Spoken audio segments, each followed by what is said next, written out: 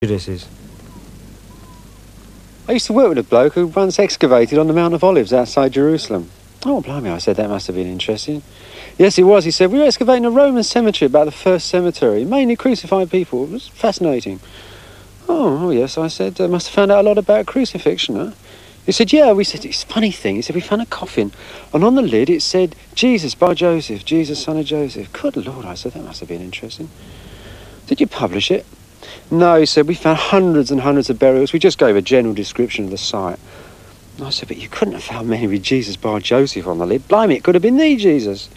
And he looked at me and he said, no, it couldn't have been the Jesus. He went to heaven.